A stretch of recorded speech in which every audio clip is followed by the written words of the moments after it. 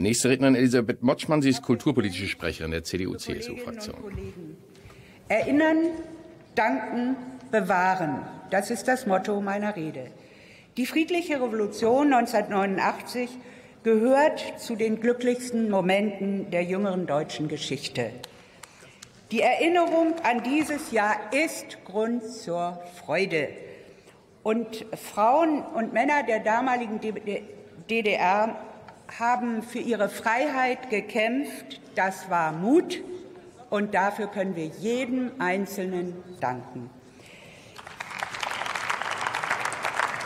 Fast auf den Tag genau vor 30 Jahren, am 7. Juni nämlich, versammelte sich eine kleine Gruppe von Demonstranten in, in unserer Nähe hier, nämlich vor der Sophienkirche. Sie protestierten gegen den nachgewiesenen Wahlbetrug bei den Kommunalwahlen am 7. Mai in der DDR. Wer den SED-Staat kritisierte, musste mit harten Konsequenzen rechnen. Selbstverständliche Menschenrechte wie Meinungsfreiheit, Reisefreiheit, freie Wahlen oder freie Medien wurden den DDR-Bürgern vorenthalten. Die Toten an der Mauer, die Inhaftierten in den menschenunwürdigen äh, Gefängnissen der Stasi, die Zwangsadoptionen, die Heimkinder, die Opfer der Stasi-Spitze und die vielen, die unter der permanenten Alltagsrepression der SED-Diktatur zu, äh, zu leiden hatten, dürfen wir niemals vergessen, meine Damen und Herren. Das sei allen gesagt, das sei allen gesagt, die die DDR-Zeit im Rückblick verklären. Eine Diktatur kann man niemals verklären, meine Damen und Herren. Aus dem Protest einiger weniger entwickelte sich ein Massenprotest. Eine Bewegung wurde ausgelöst, die schließlich zu den großen Massendemonstrationen in vielen Städten der DDR führten mit den Rufen Wir sind das Volk. Auf diese Demonstranten können wir sehr, sehr stolz sein. Im Westen, aber auch daran will ich erinnern, ergriff Helmut Kohl die einmalige Chance zur Wiedervereinigung. Bereits am 28. November 1989 formulierte er in einer Rede vor dem Deutschen Bundestag ein Zehn-Punkte-Programm zur Neuregelung der deutsch-deutschen Beziehungen und zur Lösung der deutschen Frage. Er überraschte damit das Ausland, die Alliierten, die DDR-Führung, aber auch die Bundestagsopposition. Helmut Kohl ergriff damit sehr früh und sehr schnell die Chance zur Wiedervereinigung. Ohne die tapferen Polen und ihre Freiheitsbewegung, die Solidarność, ohne Lech Walesa, ohne die Ungarn, ohne viele europäische Mitspieler, sage ich mal, wäre es vielleicht auch nicht so schnell gegangen. Dennoch hat Helmut Kohl zu Recht verdient, als Kanzler der Einheit bezeichnet zu werden.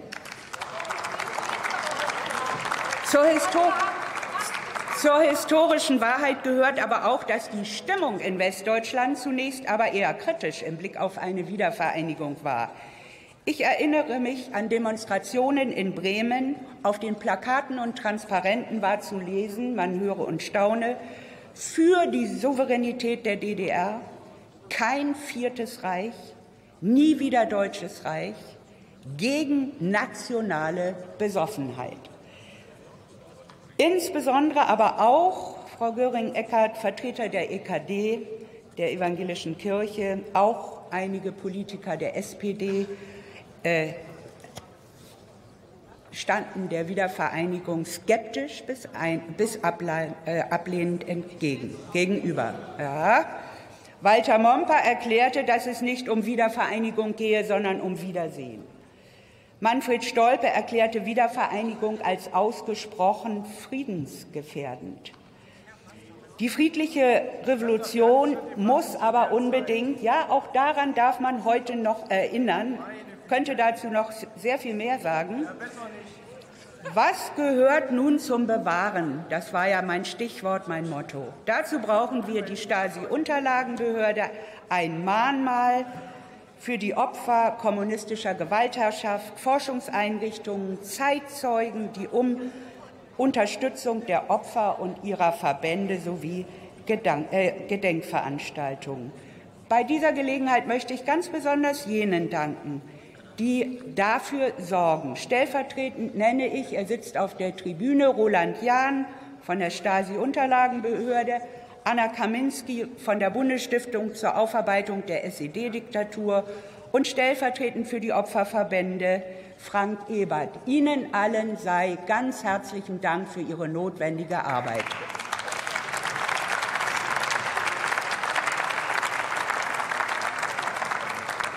Ich glaube, keine Worte können den damaligen Wunsch auf, von Menschen in Ostdeutschland besser auf den Punkt bringen. Und das möchte ich dann am Ende auch tun als unsere gemeinsame Nationalhymne.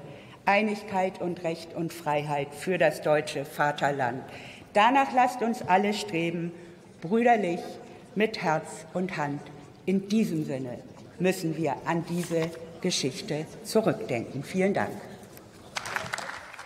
sagt Elisabeth Motschmann und zitiert Teile der Nationalhymne. Auch die wird ja von dem einen oder anderen mittlerweile in Frage gestellt.